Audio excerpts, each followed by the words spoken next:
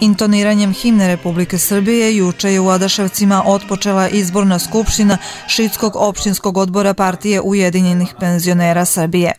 Nakon povlačanja Nikole Vidića sa mesta predsjednika opštinskog odbora, za novog je jednoglasnom odlukom izabran Cvjetko Rakić.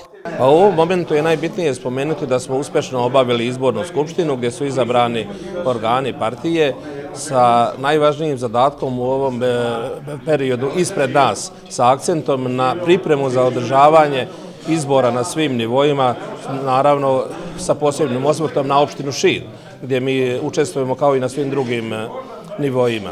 A posle izbora ćemo se kao i do sada fokusirati u odnosu na naš osnovni logo, osnovnu našu parolu, partija socijalne pravde, gdje ćemo se i dalje boriti za naše penzionere, za socijalno ugrožene, za nemoćne, kojima je potrebna pomoć u svakom vidu i svakom obliku.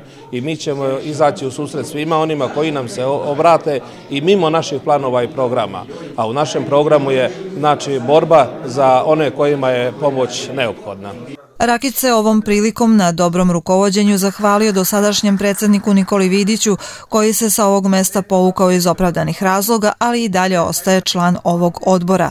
Reči zahvalnosti Rakić je uputio i pokrajinskom odboru PUPS-a koji je pružio podršku u dosadašnjem radu.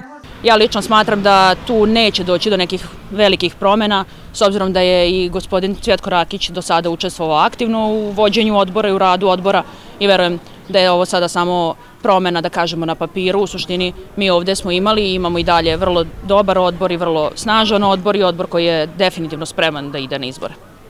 Prilikom obraćanja prisutnima, novi predsjednik istakao je dobru saradnju sa koalicijonim partnerom, vladajućom strankom SNS.